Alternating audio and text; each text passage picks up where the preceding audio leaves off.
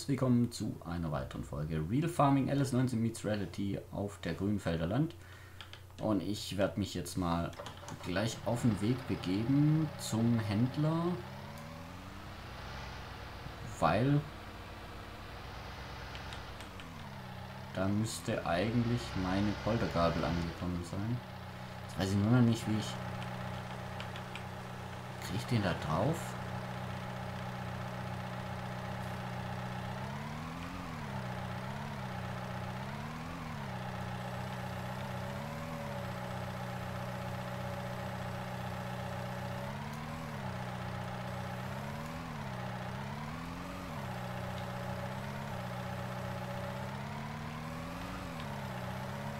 Ich würde ihn gerne mitnehmen, dann muss ich nicht.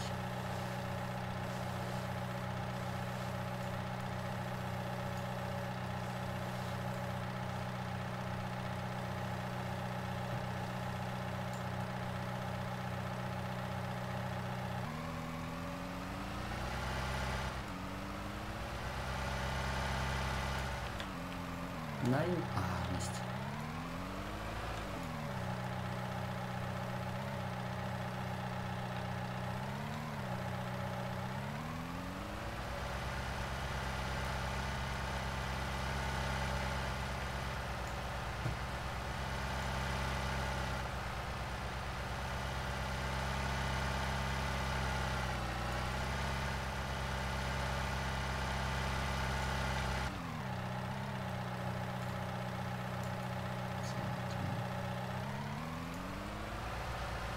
Nein. Ah, Mist. Wäre fast oben gewesen, ey.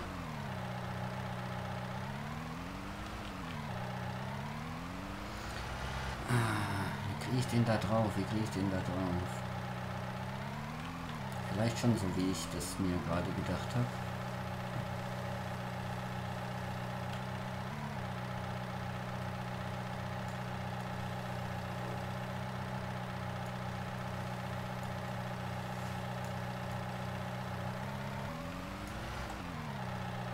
So, und jetzt ein bisschen vor. Nein, vor.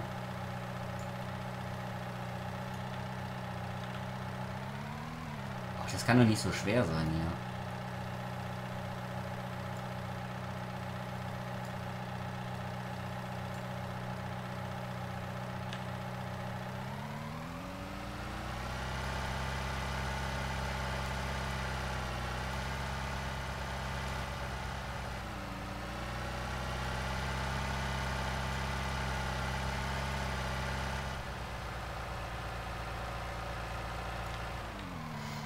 Ach nee. Weil er konnte mir die, glaube ich, nicht liefern. Ach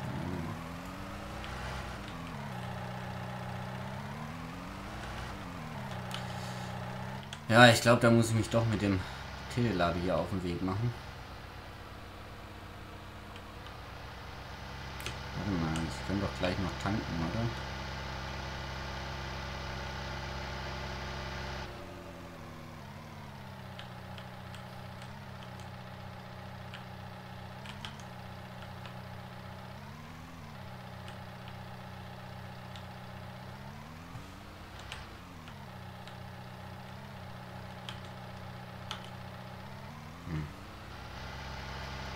Oder warte mal, ich, ich kann die Eier noch schnell verladen. Wenn ich schon hier bin.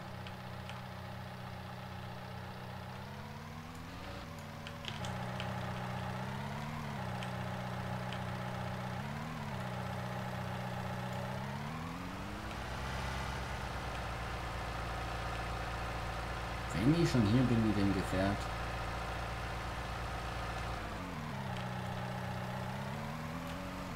Vielleicht gucke ich dann auch gleich nochmal nach dem Preis. Und verkaufe die dann auch gleich irgendwie. Aber ich frage mal die Blaubeeren, ob die noch äh, Eier brauchen, weil äh, ich muss auch noch irgendwie nach dem LKW gucken.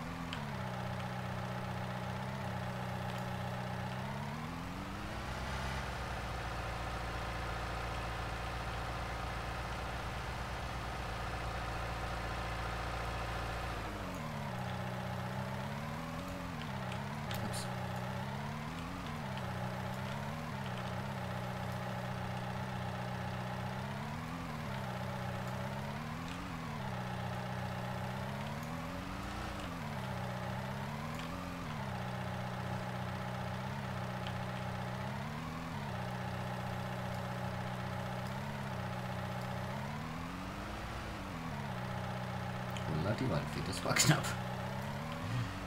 So. Wir stehen da angekoppelt. Eigentlich ja.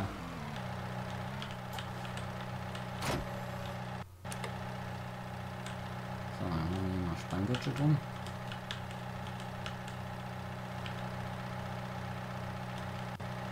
Dann telefonieren wir mal schnell. Klingelingeling. Glaube. Ja, servus Björn. Hey Volker, grüß dich. Äh, ich wollte mal fragen, ob ihr wieder ein paar Eier bräuchtet. Oh ne, momentan noch nicht, weil die Bärbel hat noch nicht angefangen zu backen. Die Ach hat noch so viel vom vor letzte Mal. Okay. Ja, gut, weiß ich. Dann kann ich sie ja auf den Markt schicken. Ja, kannst du machen. Aber trotzdem, danke der Nachfrage. Gut. Ähm, und eine andere Frage, wie schaut es mit meinem LKW aus? Da kommt der Marlon vorbei und ähm, erstellt das Gutachten. Ja, soll sich mal beeilen, ich brauche den LKW. Hm. Ja. Aber für was ein Gutachten? Ja, wegen dem Unfallschaden, ne? Ach so. Hm. Ja, müsste eigentlich die Versicherung zahlen, Ja. oder? Ja, weiß noch nicht. Sonst, Kommt drauf an, was passiert ist, ne? Ja. Okay. Gut, Alles klar. danke erstmal. Tschüss. Ja, gerne. Ciao, ciao.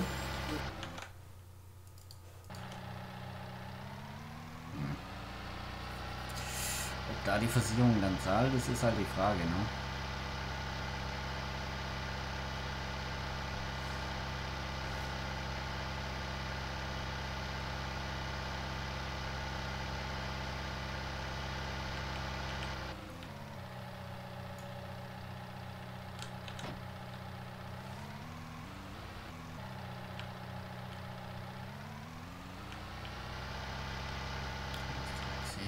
Jetzt bin ich gerade am überlegen, warte mal, ich kann ja gerade mal reingucken.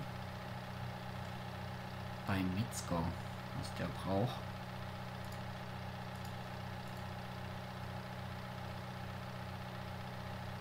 Kartons bräuchten die. Ja, aber Kartons habe ich jetzt gerade keine. Oder zumindest sind die nicht hier. Mm, Dann rufe ich mal noch schnell Neumann an, ob das schon da ist.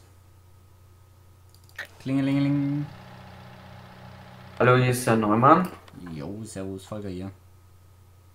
Ja, moin. Wie schaut's aus mit der äh, Poltergabel? Liegt auf deinem Hof vor dein, vor dein Haus. Ach, du hast die doch schon geliefert. Äh, natürlich. Ah, supi. Gut, Äh. danke. 600 Euro gleich nochmal überweisen. Jo, mach ich gleich. Danke. Passt. Tschüss. Jo, tschüss. So, gut. Äh, wenn die da liegt, ist er perfekt. Dann schauen wir mal gerade. Oha. 3400 Euro pro 1000 Liter. Das ist aber gar nicht so schlecht, weil, warte mal, dann machen wir hier folgendes.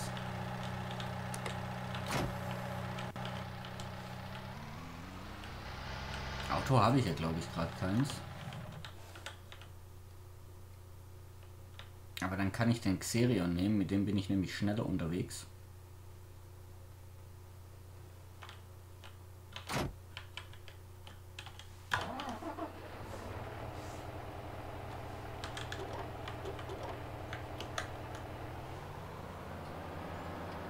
Oder machen wir mal eine kleine Spritztour hier im Norden, ne?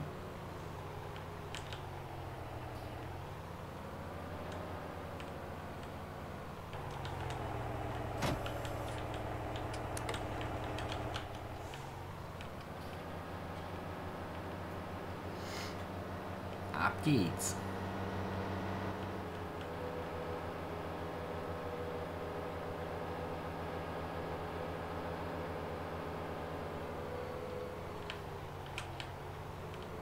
Also wir haben 12.000 Liter. Dann soll ich eigentlich die, die fast fertigen Paletten auch noch mitnehmen, oder nicht? Also der Preis ist ja Hammer.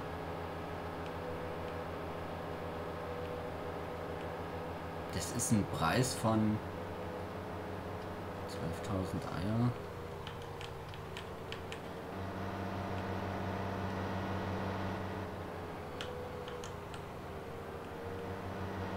Auf jeden Fall werde ich die anderen auch mitnehmen. jetzt ist nur die Frage.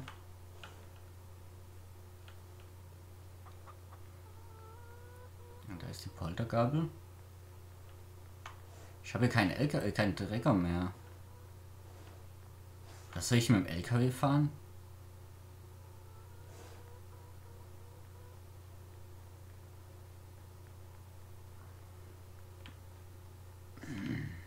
Also ich bin mir, ich bin mir im Allgemeinen gerade total unsicher, ob das eine gute Idee war, die Agrargenossenschaft zu gründen. Da werde ich mal noch ein bisschen überlegen müssen, weil irgendwie der Nutzen, der Nutzen aktuell ist nicht so groß, wie ich mir das erhofft hatte. Und es geht schon ein paar Wochen so. Und deshalb, ähm, weiß nicht, bin ich eher dran zu sagen, ich stampfe das Ganze wieder ein. Hoppala.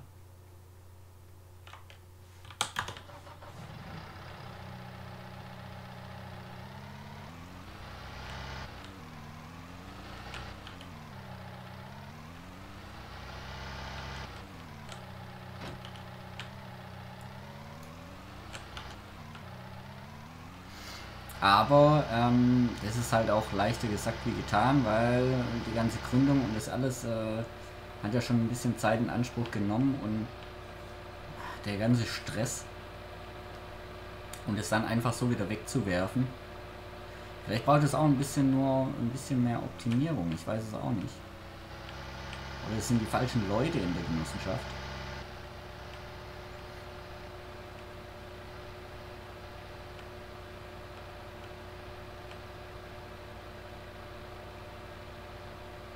Hört sich natürlich jetzt erstmal blöde und böse an.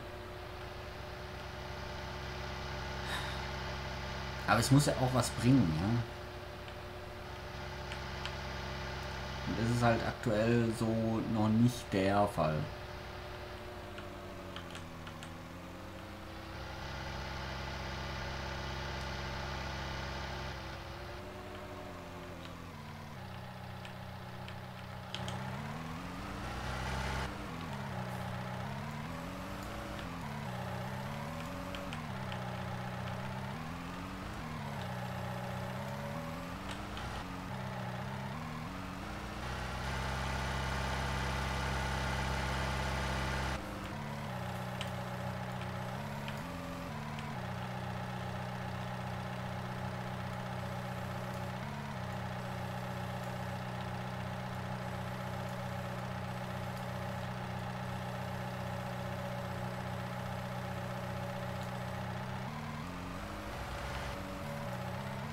Und wenn es nichts bringt, dann ist es halt doch das Beste, wenn man dann wieder äh, die Reißleine zieht, denke ich.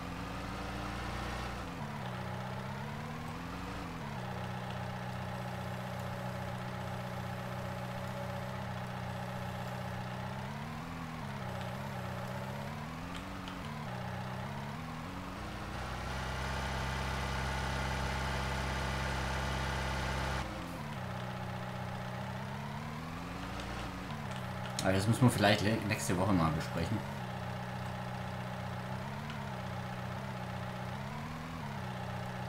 Wenn die anderen auch wieder da sind.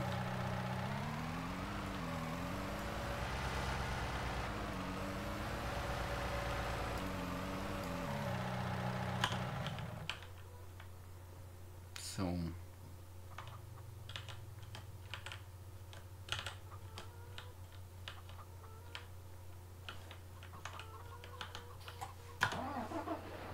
Gut, aber ich mache mich jetzt mal auf den Weg. Äh, Volker Varuna, hallo?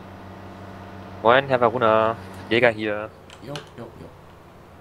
Ich bin darum gebeten worden, Sie um 12 Uhr einzuladen Wohin? zu dem neuen Gemeindegebäude. Äh, geht nicht ein bisschen früher? Der Herr Neumann hat mir 12 Uhr gesagt. So um 11? Da müssen Sie sich mit dem Herrn Neumann auseinandersetzen. Mist. Ähm. Ja, okay. Gut, passt. Gut, Danke. dann Tschüss. würde ich sagen, sehen wir uns um 12. Jo, Ciao, ciao. ciao. Ach. Klingelingeling. Hallo, hier ist der Neumann. Jo, Noemi, äh, wie schaut's denn aus? Geht auch schon um 11? Nee, um 12 schon. Aber ungeschickt. Du musst nach, äh, nach Kirchhau, Kirchhausen, äh, Kirchdorf. Da bin ich jetzt gerade auf dem Weg. Auf 12 werde ich es wahrscheinlich nicht zurückschaffen. 11 wird auf jeden Fall nix. Okay, ich guck mal, ob es mir zeitlich reicht. Ich beeile mich. Jo. Gut, ciao. Ciao. Hm, was wollen die denn jetzt von mir? Müssen wir ein bisschen angasen hier. Ich bedanke mich bei euch fürs Zuschauen. Ah, Was ist denn jetzt los hier? Wenn es euch gefallen hat, lasst gerne ein Like, Abo oder einen Kommentar da. Schaut morgen wieder rein bei der nächsten Folge Real Farming. Bis dahin, macht's gut. Tschüss. Ussasa.